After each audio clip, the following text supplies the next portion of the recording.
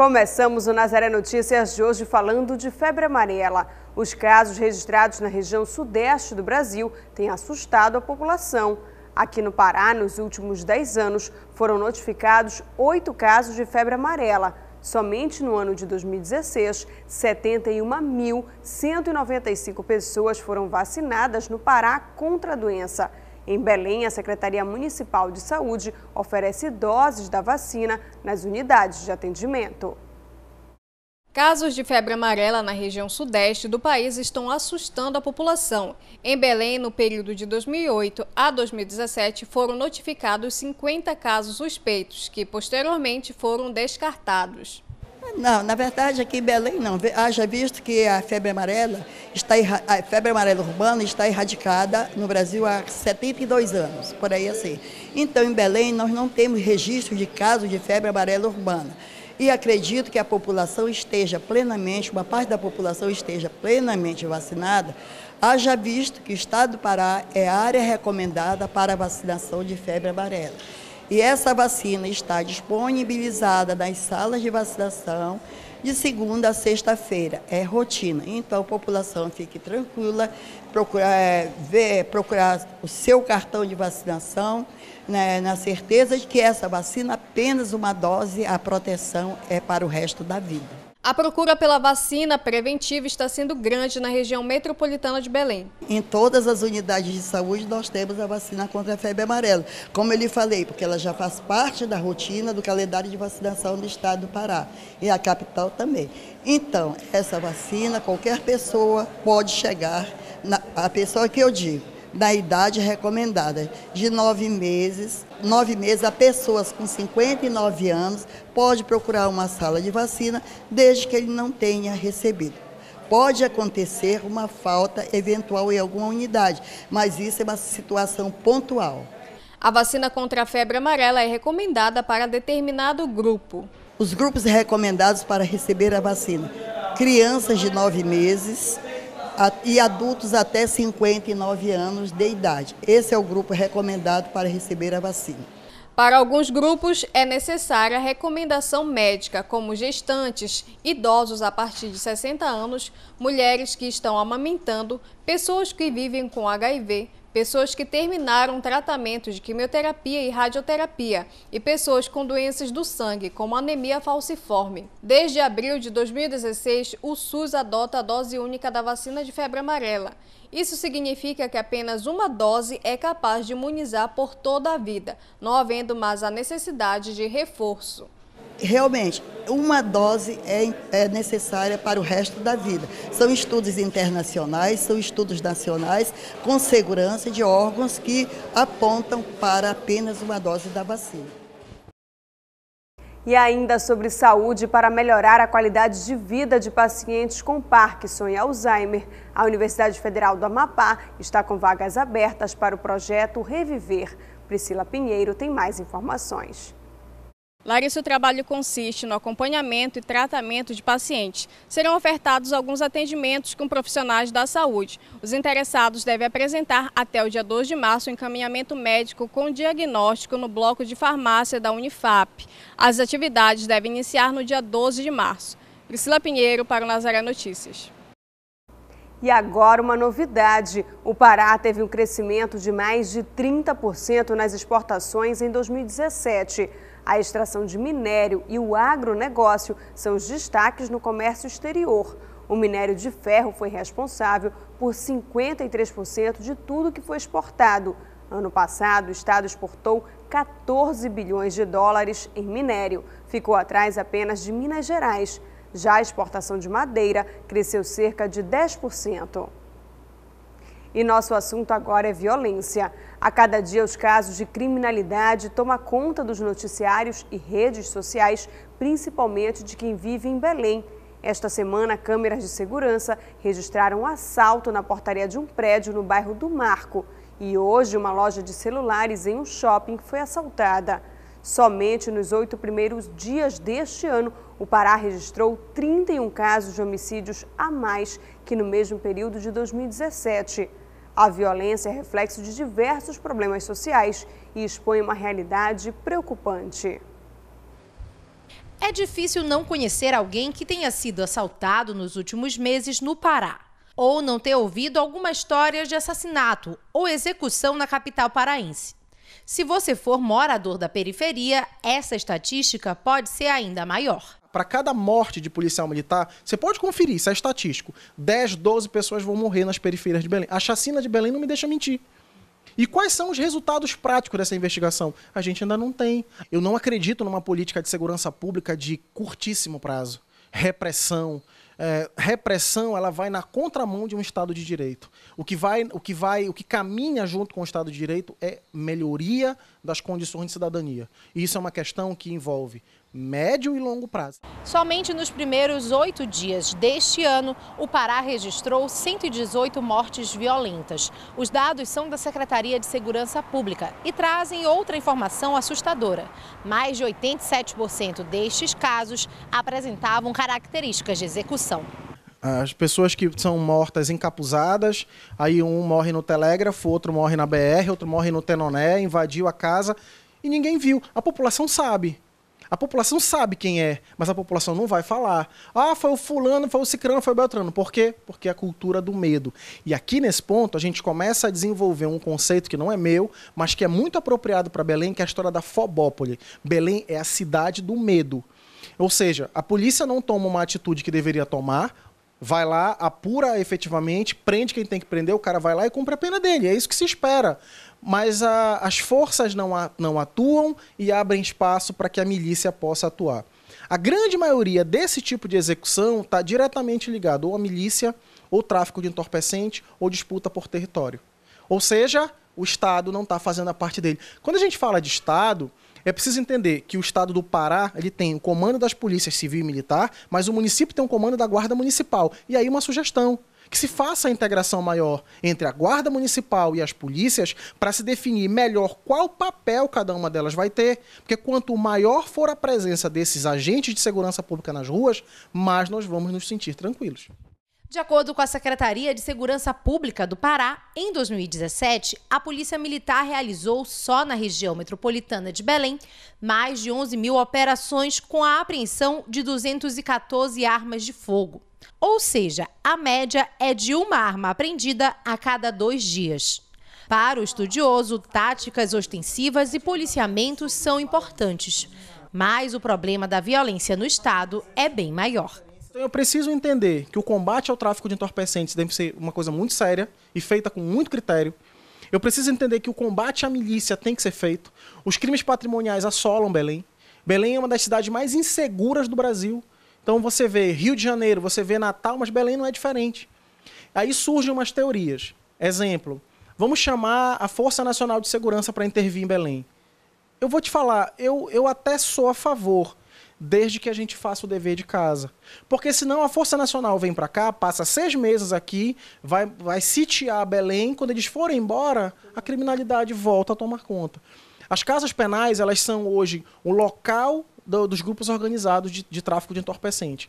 Para você ter uma ideia, nós temos hoje aproximadamente 9 mil vagas para 16 mil presos. E boa parte deles, eles acabam fazendo parte de algum grupo criminoso, alguma organização criminosa que estão comandando as ações aqui fora.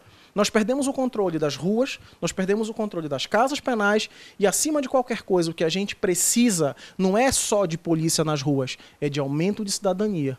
Quanto mais as políticas públicas chegarem em todas as regiões, em especial na periferia, onde a carência é muito maior, menor vai ser o índice de criminalidade. E ainda sobre violência, números da Associação de Cabos e Soldados da Polícia Militar e Bombeiros do Pará revelam que cinco policiais militares morreram de forma violenta e dois foram feridos por arma de fogo no Pará nos 23 primeiros dias de 2018. Em média, é um policial morto a cada quatro dias. Até agora, nenhum dos casos foi solucionado pelas autoridades. E começou o prazo para empresários preencherem a Relação Anual de Informações Sociais de 2017, a RAIS. O preenchimento é obrigatório para todas as pessoas jurídicas com CNPJ ativo na Receita Federal. Todas as pessoas jurídicas com CNPJ ativo em 2017 devem preencher a relação, sejam elas com ou sem empregados. A RAIS também deve ser preenchida por todos os estabelecimentos com cadastro específico do INSS, que possuam funcionários. No caso de microempreendedores individuais, só precisarão fazer a declaração quem tiver empregado. Caso contrário, a declaração é facultativa. O prazo começou nesta terça-feira, 23, e vai até o dia 23 de março, sem possibilidade de prorrogação. A RAIS reúne informações sobre empregadores e trabalhadores formais no Brasil, como número de empresas, municípios de localização, ramo de atividade e quantidade de empregados. De acordo com o Ministério do Trabalho, a relação possibilita que o governo estabeleça estratégias de políticas públicas e de emprego. A presença na base de dados também é critério para acessar direitos. O trabalhador que não constar na RAIS não conseguirá receber o abono salarial e o seguro-desemprego, além de ser prejudicado na contagem de tempo para aposentadoria e outros direitos trabalhistas. Estão obrigados a declarar a RAIS empregadores urbanos e rurais, as filiais, agências sucursais, representações ou qualquer outra forma de entidade vinculada à pessoa jurídica domiciliada no exterior. Os autônomos ou profissionais liberais que tenham mantido empregados no ano base, os órgãos e entidades da administração direta, autárquica e fundacional dos governos federal, estadual, do Distrito Federal e municipal, os conselhos profissionais criados por lei com atribuições de fiscalização do exercício profissional e as entidades paraestatais, além dos condomínios e sociedades civis e cartórios extrajudiciais e consórcios de empresas. A RAIS é preenchida por meio de formulário online. Hoje é o Dia Nacional dos Aposentados, data destinada a homenagear os profissionais que se dedicaram a vida inteira ao trabalho e agora usufruem dos benefícios da Previdência Social, recebendo do governo uma gratificação por todos os anos de serviços prestados ao país. Mas será que os aposentados estão satisfeitos com esses benefícios e as mudanças previstas com a reforma da Previdência? Este é o tema da nossa entrevista de hoje. Aqui ao meu lado está o advogado Paulo Barradas e a gente vai falar então sobre aposentadoria. Se você quiser participar da nossa entrevista, desde já envie sua pergunta para a gente. Nosso WhatsApp é 98802 3444. Doutor Paulo, é um tema muito polêmico quando se fala de aposentadoria, principalmente nesse período que se discute aí a possível reforma da Previdência. Mas para que as pessoas entendam, como é que se dá hoje no Brasil o processo de aposentadoria? É, é um tema extremamente polêmico. Os aposentados não têm é, muito a comemorar, muito ao contrário, estão num período de muita tensão. E, na verdade, a aposentadoria e os demais benefícios previdenciários, porque não é só a aposentadoria, são as licenças, licença maternidade, enfim, uma série de outros benefícios, é, eles não são uma doação do governo. Eles é, trata-se de um sistema contributivo, onde o empregado contribui a vida toda para depois usufruir daquele dinheiro que contribuiu. E aí existem alguns princípios especiais na previdência, que é o princípio da onde uma geração mantém a outra, é o princípio da reciprocidade então, a geração que atualmente está trabalhando mantém a que está aposentada, no futuro, essa geração que vai se aposentar será mantida pela geração que está trabalhando, enfim, é um sistema muito bem elaborado. Agora, é um sistema que ele já demonstra sinais de fadiga, porque ele foi pensado para um momento, para um país onde as pessoas com 40 anos já eram consideradas idosas, onde as pessoas morriam aos 50, 50 e poucos anos. Então, às vezes 60, enfim é, tinha, tínhamos uma outra relação. Hoje as pessoas chegam a essa idade da aposentadoria absolutamente saudáveis, cultuando o seu físico, comendo de forma absolutamente saudável, enfim, levando uma vida que projeta uma longevidade maior. E aí vai levar certamente mais tempo recebendo a aposentadoria, então vai precisar de mais gente trabalhando para manter só esse benefício da aposentadoria, sem falar nos outros. Mas a previdência no país, ele é, ela é um sistema tríplice, o sistema é, da previdência social. É criar é, é, é o sistema da, da, da, da Seguridade Social é tríplice. Ele é composto pela previdência, pela assistência e pela saúde. A saúde, que é um direito de todo brasileiro, vem da Seguridade Social. Isso aí é geral e isso é o governo que tem que bancar porque a responsabilidade constitucional é dele. A assistência social também é responsabilidade do governo, dos, das três esferas de governo, federal, estadual e municipal, porque esses dois sistemas eles não são contributivos. Todos têm direito, desde que, estabele é, que, que perfaçam alguns critérios lá que a lei determina. Será contributivo só a Previdência, uma dessas fases. E a, o que se chama de reforma previdenciária, infelizmente no Brasil, se repete uma história que é velha.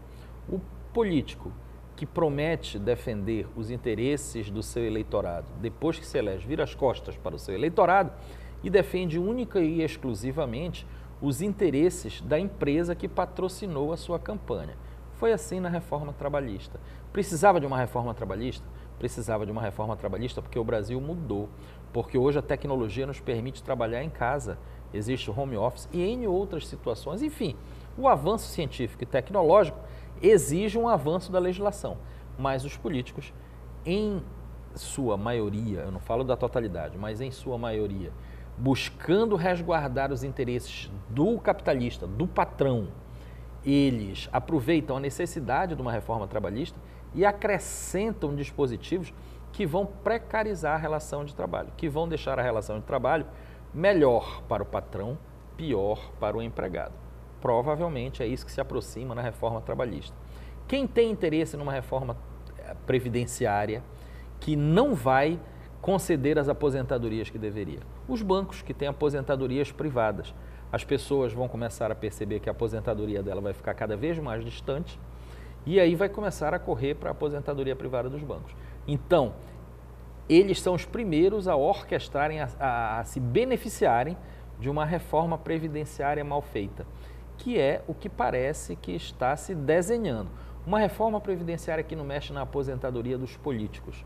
Os políticos deveriam ser como qualquer outro trabalhador. Eu passei durante quatro anos no mandato de qualquer é, magnitude, eu pego esses quatro anos de contribuição e junto a minha contribuição previdenciária, que é no meu trabalho. Mas no Brasil, não. No Brasil, o político é uma categoria especial que, com duas legislaturas, se aposenta, e em alguns casos, até com uma legislatura, uma única legislatura se aposenta. Isto não vai ser alterado na reforma trabalhista. Então, este discurso que a, a reforma trabalhista é para acabar com privilégios, ele é um discurso baseado naquela máxima de Goebbels, o ministro das comunicações de Hitler, que uma mentira, quando reiterada diversas vezes, acaba virando uma verdade. Seria uma reforma para acabar com o privilégio se acabasse, primeiramente, com o privilégio de políticos, com o privilégio de pessoas que recebem acima do teto constitucional. Enfim, efetivamente os privilegiados. Mas veja, quem vai votar e quem vai decidir pelo que muda e o que não muda são exatamente as pessoas que gozam desses privilégios. O que esperar deles? Doutor Paulo, essa reforma que se discute dentro da Previdência, ela vai tratar principalmente aí do tempo de contribuição, da idade do contribuinte. Agora, a principal preocupação também é porque ela traz algumas mudanças relativas às pessoas que trabalham no meio rural, que trabalham em, em situações de periculosidade. Tudo isso pode ser alterado. Tudo isso pode ser alterado, não pode ser retirada a periculosidade, não pode ser retirada a insalubridade, porque isso são questões constitucionais e aí precisaria de uma é, votação de uma margem mais expressiva. Mas pode ser mudado. Os critérios de aposentadoria, que hoje é não só o critério de contribuição, mas também o critério de idade, que veio é, aí no, no final da segunda metade da década de 90 para o trabalhador. Pode ser mudado o tempo de contribuição e o tempo de idade, esses fatores que somados levam à aposentadoria pode ser modificado é, a aposentadoria para quem tem trabalho insalubre, para quem tem trabalho perigoso, pode ser modificada a pensão, a pensão pode ser paga para todos os casos durante só dois, três anos para o viúvo ou para a viúva e depois deixá-lo à míngua. Eles podem fazer o que eles quiserem. O Congresso está com o poder de decisão sobre um dinheiro que não é dele. O governo reclama que a Previdência é problemática, é problemática, mas o dinheiro da Previdência não é do governo. Não sai dos cofres do governo. É o dinheiro do próprio trabalhador que banca a sua Previdência, que, por sinal, quando começou a Previdência, era um sistema entre sindicatos, não era governamental. O governo, na época o governo militar, vendo que ali tinha muito dinheiro, chamou para si a responsabilidade de administrar. Mas o que se desenha, infelizmente, no Brasil, esperamos que isso não aconteça, porque o eleitor tem que saber, hoje temos as redes sociais na mão e temos que saber fazer valer a seriedade do compromisso daquele que me prometeu que ia defender uh, os meus interesses lá. Me parece que o governo pretende fazer com a Previdência a mesma coisa que faz com a FGTS. Pega o dinheiro do trabalhador e usa do jeito que ele quer. Não devemos esquecer também que quando o presidente Temer, o que hoje reclama horrores da Previdência, esta, é, este político, logo que ele assumiu a, presidência, depois que retiraram lá a presidente Dilma Rousseff por impeachment, o desespero dele era aprovar a DRU. As pessoas talvez ainda se lembrem. A DRU é a desvinculação da receita da União. Ou seja, uma parte do dinheiro que vinha com destinação específica perdi, era desvinculada de sua destinação específica, inclusive 20% da arrecadação da Previdência, que o governo hoje utiliza para outros pagamentos que não a Previdência. Não estou dizendo que ele se aproprie para ele, mas que ele usa para pagar outras coisas que não são tão importantes. Talvez propaganda, porque muita propaganda é feita pelo governo. Propaganda do novo ensino médio, propaganda da reforma trabalhista, propaganda da reforma da Previdência. Isso tudo custa dinheiro e isso aí está saindo de algum caixa do governo. E o governo, o desespero dele era aprovar essa DRU, que foi aprovada, e hoje a, as receitas da União são desvinculadas e ele utiliza 20% da arrecadação, pode utilizar 20% da arrecadação da Previdência do jeito que quiser. Ora, é óbvio que uma conta onde todo mundo tira e nem todo mundo põe, uma hora vai faltar. Está chegando essa hora. Com certeza, doutor Paulo, a gente agradece pelos seus esclarecimentos. Se você ficou com alguma dúvida ou quiser enviar um comentário para a gente, você pode mandar para o nosso WhatsApp, o nosso número é 988023444. O advogado Paulo Barradas está conosco aqui no Nazaré Notícias todas as quartas-feiras.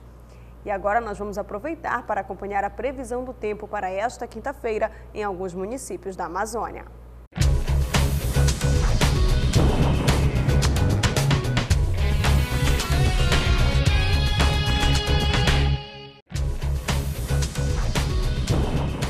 Para Belém, a previsão para amanhã é de tempo parcialmente nublado.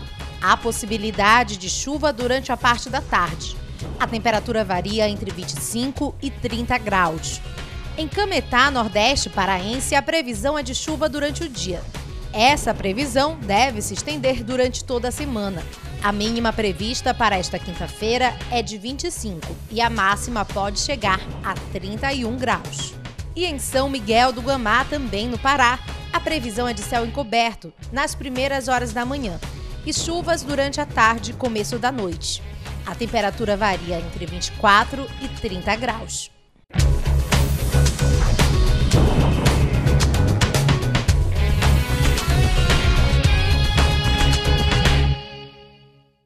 E ainda sobre clima, neste período chuvoso, o Corpo de Bombeiros registrou 189 ocorrências para o resgate de animais em áreas residenciais de Rio Branco, no Acre. Em 2017, a organização registrou 1.846 chamadas para a captura de animais, como cobras, escorpiões, aranhas e outros. No último domingo, um jacaré de um metro e meio foi encontrado na entrada de uma casa de uma família no bairro do Aeroporto Velho, na capital. E você pode participar da produção do Nazaré Notícias conosco. Envie sugestões de reportagens, temas para as nossas entrevistas através do WhatsApp. O número é 988023444.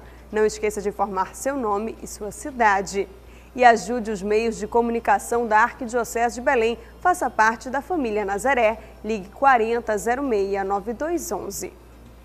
E você acompanha ainda nesta edição a importância do estágio para a carreira profissional. Tráfico humano e violência sexual serão discutidos em seminário da Pastoral Familiar. CNBB promove curso de aprofundamento bíblico em Belém. E voltamos com Nazaré Notícias falando de educação. O estágio é uma etapa importante para o desenvolvimento da carreira de todo profissional. Mais do que ganhar experiência, ele possibilita para os estudantes conhecimento, competências e uma relação prática da teoria vista em sala de aula. O início da vida profissional de diversas pessoas é marcado pelo estudo aliado ao estágio. Essa aprendizagem profissional é um importante degrau para o estudante Leonardo Santana. O estágio é muito bom que a gente aprende na prática aquilo que a gente faz no curso.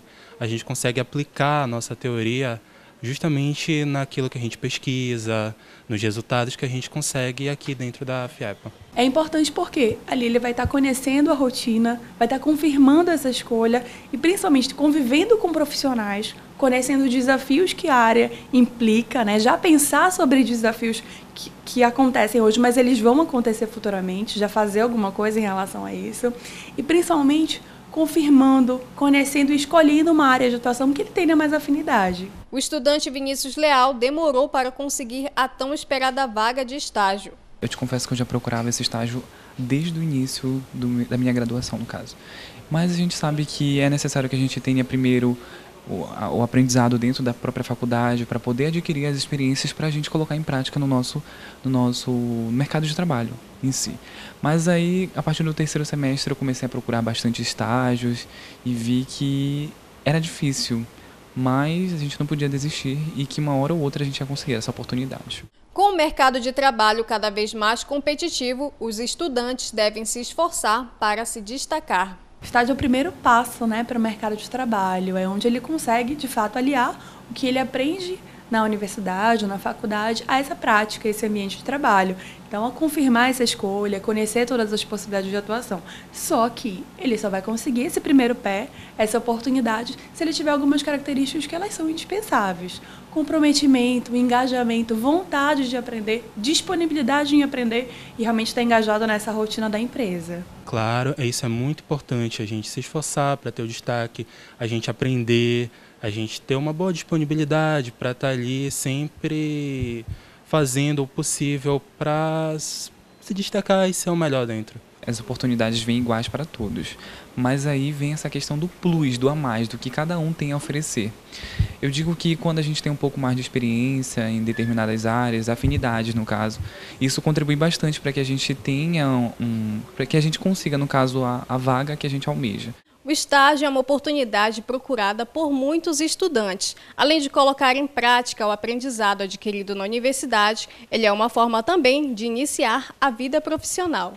Em ano passado a gente teve uma média de 35 a 40 contratos, né? Quando o, esse candidato às vezes nem termina o programa de estágio, o contrato de estágio ele já é contratado pela empresa. Então temos sim, né? A empresa entende que é mais fácil contratar uma pessoa que já está ali dentro, já conhece a rotina, processo e a cultura da empresa, do que né, puxar uma pessoa de fora. Eu espero que o mercado esteja bastante aquecido e que as oportunidades sejam iguais, justas para todos e a gente sempre tem que buscar um aperfeiçoamento dos nossos aprendizados, até porque o mercado sempre está em evolução. Isso requer que a gente também cresça juntamente com tudo, com, com tudo que esteja ao nosso redor, inclusive na graduação. E falando em educação, estudantes sem condições financeiras para custearem a preparação para concursos públicos e para o Exame Nacional do Ensino Médio podem se inscrever gratuitamente no Concurseiros Unidos, o projeto que acontece há três anos em Macapá e iniciou as primeiras turmas de 2018 está com inscrições abertas. As aulas preparatórias para o Enem começam no dia 19 de fevereiro. O projeto reúne cerca de 100 professores voluntários. As aulas ocorrem no horário das 19 às 22 horas no Colégio Amapaense, no centro da capital.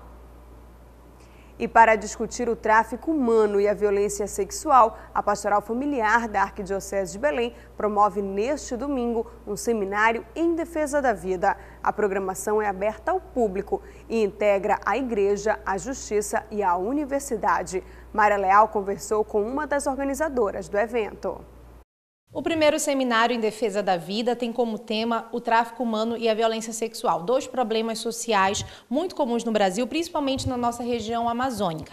Eu vou conversar com a Luciana Limão, que é coordenadora da Pastoral Familiar da CNBB Regional Norte 2 e que está à frente dessa programação. Luciana, para a gente entender, é, por que fazer um seminário que aborda justamente a defesa da vida?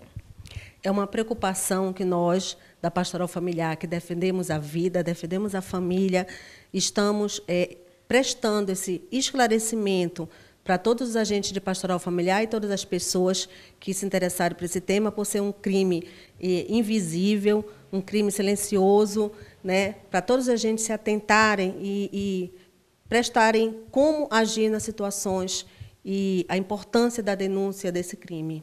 A Maria Henriqueta ela tem um trabalho muito grande nesse sentido e ela que vai dar todo o nosso o apoio e toda a assessoria que nós, como agente de pastoral familiar, precisamos quando nós formos atender as famílias e detectar as nuances nesse sentido, porque é um, um crime grave, é uma chaga muito grande que está acontecendo, e nós, como agente de pastoral familiar, estamos com essa preocupação realmente de prestar esse esclarecimento a todas é, pessoas de bem e agente de pastoral familiar que estão atentas nesse sentido. O outro tema é a questão da violência sexual também, que é um problema social não só aqui no nosso estado, mas a nível mundial, né? Como que vai ser tratado dentro do seminário? É porque tem muita gente que a gente atende, a gente pergunta e tem erroneamente acham que o abuso infantil e a violência ela é acontece distante da gente, não pode acontecer dentro da nossa casa, da nossa família. Então, o abusador, às vezes, é um membro da própria família, é um vizinho, é um tio. Então, essa, esse esclarecimento muito importante para a gente ver as nuances, que a gente para perceber as características de um abusador. Né? Então, é muito importante para as pessoas que vão estar presentes que vai ter debates, vai ter fórum de perguntas, é, Ninguém vai sair com dúvidas. A irmã Requeta e a juíza, que vai estar lá presente, né, a professora da UFPA, prestar todos os esclarecimentos, tirar todas as dúvidas de todos que estiverem lá nesse seminário. Luciana, como que as pessoas podem se inscrever? De que forma participar? Quinta-feira agora, aqui na SNBB, de 8 a meio-dia, nós estaremos aqui, a comissão da Pastoral Familiar, fazendo as inscrições. E lá no local também vão estar os, secretários da Pastoral Familiar fazendo as inscrições né, de quem quiser participar. E eu convido a todos, faço esse convite em nome da Pastoral Familiar do Regional Norte 2, que venham realmente prestigiar esse evento de muito importante para a sociedade como um todo. Tá certo, Luciana. Muito obrigada pelas informações. Então fica aí a dica dessa programação realizada pela Pastoral Familiar da CNBB Regional Norte 2. Será neste domingo, dia 28, na Igreja de São Raimundo Nonato, que fica no bairro do Telégrafo. Todos estão convidados a participar. Mayra Leal para o Nazaré Notícias. As operadoras de telefonia foram responsáveis pelo bloqueio de mais de um milhão e meio de aparelhos celulares no Brasil no ano passado. O roubo é o principal motivo do bloqueio. Segundo a entidade, os bloqueios foram necessários após os aparelhos terem sido alvo de problemas como roubo, furto e extravio. O órgão informou ainda que esses são os motivos mais comuns para os pedidos de bloqueio, mas não detalhou os números. O bloqueio é feito a partir do e-mail, que é o código de identificação de aparelhos celulares. Quando o e-mail é registrado no cadastro e bloqueado, o aparelho celular não consegue mais fazer ligação ou qualquer comunicação utilizando o pacote de dados das operadoras brasileiras e de outras 57 empresas de 19 países. Desde o ano 2000, quando o sistema de bloqueio começou a operar, até o ano passado, o sistema registrou um total de 9,3 milhões de e-mails inutilizados, por terem sido bloqueados. O e-mail é como um chassi do carro. Cada celular tem um número diferente. Para acessar o um número, basta digitar asterisco jogo da velha 06 jogo da velha no teclado do aparelho e ter acesso ao número. Agora vamos falar do programa Escola da Vida, do 4 Grupamento de Bombeiros em Santarém, no oeste do Pará. O projeto está com pré-inscrições abertas. O prazo segue até o dia 2 de fevereiro. Priscila Pinheiro tem os detalhes. Larissa, o atendimento começa às 7h30 no quarto grupamento de bombeiros militar em Santarém. Serão distribuídas 20 senhas por ordem de chegada. Os responsáveis devem apresentar a cópia do boletim escolar e preencher um formulário. Entre as atividades desenvolvidas estão prevenção de acidentes e primeiros socorros. Priscila Pinheiro para o Nazaré Notícias. O Ministério Público Federal do Amazonas recomendou que a Prefeitura de Ipixuna, município a 1.367 quilômetros de Manaus, retire o nome de pessoas vivas de bens públicos. A Prefeitura tem o um prazo de 30 dias para alterar o nome do ginásio municipal Atila Lins. A proibição de utilização de nome de pessoas vivas para denominar bens públicos está prevista em uma lei federal. O MPF vem apurando, por meio de inquérito civil, o possível descumprimento da legislação por parte do Estado e dos municípios do Amazonas que trata especificamente da proibição de nomes de pessoas vivas para denominar ruas, obras e monumentos públicos. E nesta semana, a Conferência Nacional dos Bispos do Brasil, Regional Norte 2, recebe um curso de aprofundamento bíblico. A formação está na 13ª turma e é oferecida pelo Instituto Pastoral Regional. Estudar a Bíblia Sagrada de forma comprometida com as causas populares, em clima de partilha e oração.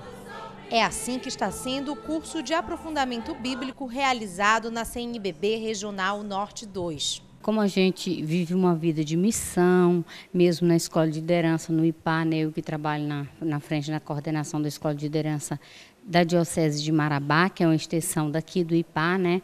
Então, assim, é um aprofundamento que a gente leva conhecimentos para que possamos trabalhar naquela turma e vivenciar a nossa missão. O curso é oferecido pelo Instituto de Pastoral Regional, em parceria com o Centro Bíblico Verbo é o último módulo da 13ª turma que se reúne para estudar a palavra de Deus. A objetividade desse curso de aprofundamento é ajudar as nossas lideranças a se formarem dentro dessa animação bíblica pra, para seres verdadeiros protagonistas também dentro das suas dioceses, das suas comunidades, animando e fortalecendo a caminhada do nosso povo.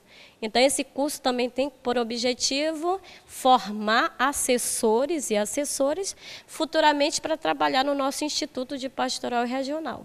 No módulo que está encerrando, os estudiosos se debruçam sobre as cartas de São Paulo e o Evangelho de São João em um olhar atento sobre as escrituras. A finalidade primeira é a gente construir junto o conhecimento. Então, é partilha de saberes. Porque todo mundo já traz um conhecimento e uma experiência com a palavra, mas há também é, uma necessidade de um método de leitura para a gente aprofundar. Porque tem muitas informações que a gente precisa ter acesso a elas. Elas não vêm espontaneamente.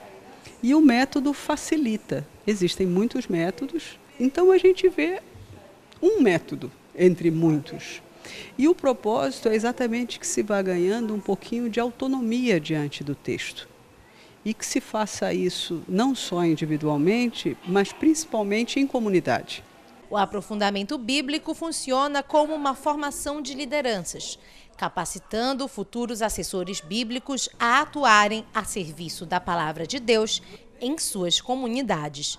O nosso aprendizado é uma coisa que podemos levar para a nossa vida em todos os sentidos: família, e, e religião, social, em todos os sentidos. Então, assim, é um aprofundamento bíblico que coloca a gente diante de muitas situações que nós passamos a ver a nossa vida com bons olhos, a olhar melhor o nosso irmão e nos fazemos crescer, faz com que a gente cresça na caminhada da nossa Igreja Católica. Essas foram as notícias de hoje. Para dar sugestões de reportagens, envie para o nosso WhatsApp 98802 3444. E se você quiser rever nossos vídeos, acesse o portal Nazaré, www.fundacionazaré.com.br ou acesse a nossa página no Facebook. Ajude os meios de comunicação da Arquidiocese de Belém. Faça parte da família Nazaré. Ligue 40 06 9211. E o Nazaré Notícias de hoje fica por aqui. A gente se encontra amanhã na próxima edição. Até lá!